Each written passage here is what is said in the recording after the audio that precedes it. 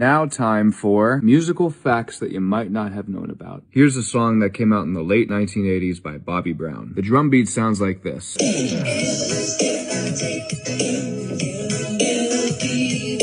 The same drum beat was used in a Wendy's employee training video. Biggie, medium, small, kids meal, keep it straight. It's a good size, that's what I say.